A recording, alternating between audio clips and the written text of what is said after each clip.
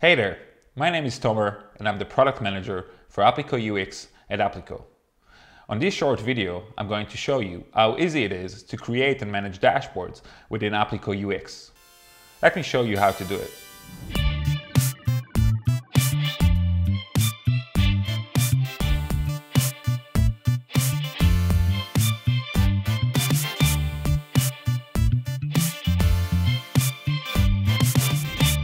Dashboards in Apliqo UX are collections of widgets which allows each user to explore and quickly find their own insights.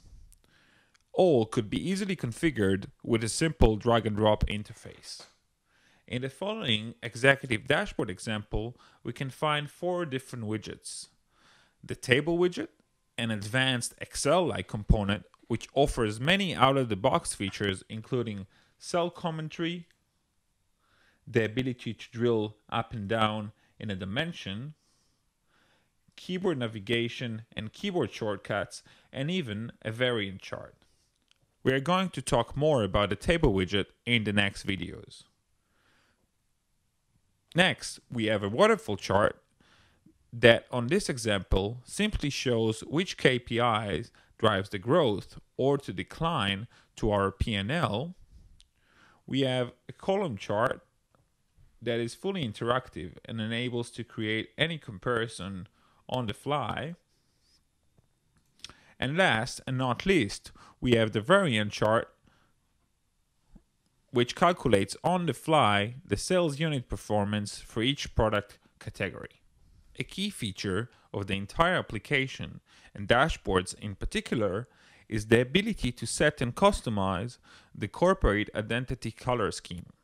For instance, in our demo, black represents the actual version, blue the budget, and gray the last year. And those colors are reflected on all our widget types. This will allow the users to understand and analyze the data in more efficient way.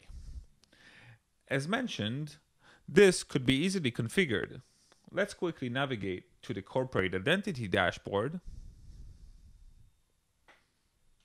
change the actual color to be green, for instance. Now, if we refresh this dashboard, we can immediately see the impact on the table widget.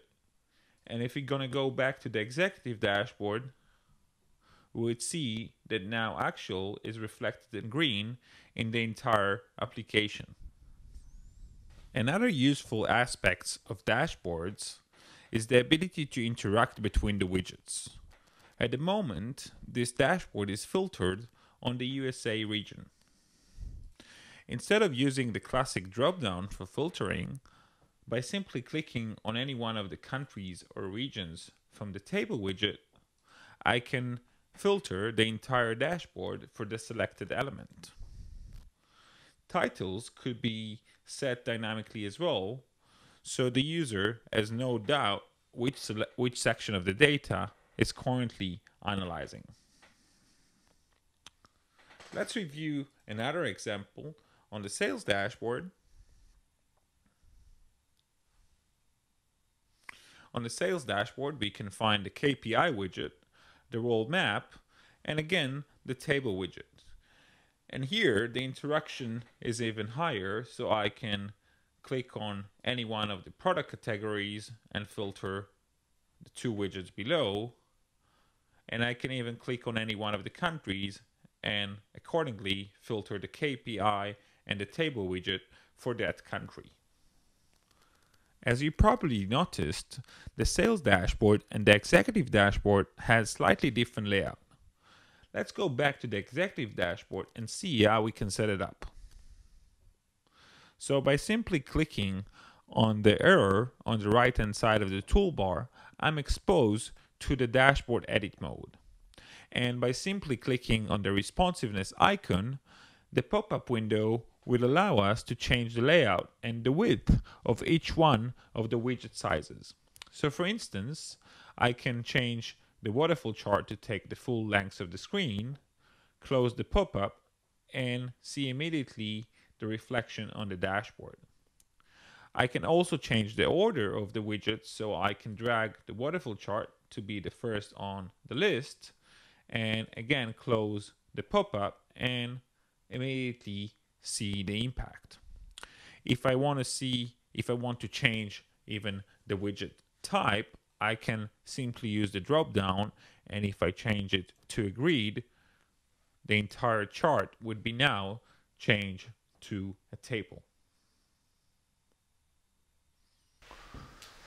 And that was a short overview how to work with dashboards in Apliqo UX. Follow the links for more Apliqo UX videos.